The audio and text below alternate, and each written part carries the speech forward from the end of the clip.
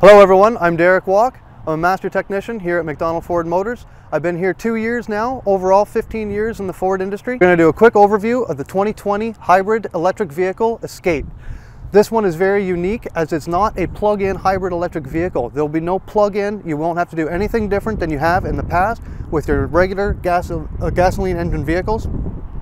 The nice thing about this is it's a smooth transition. It'll go between gas or electric or a combination of without you even knowing or having to do any additional driver inputs.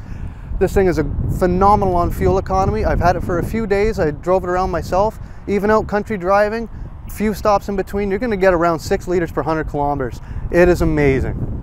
If you'd like to see more or take one for a test drive to see what this is all about, I encourage you to come in and try this out. If you have any questions or comments, please leave them below. Hit the like button, subscribe, and we'll hopefully see you soon. Thank you very much.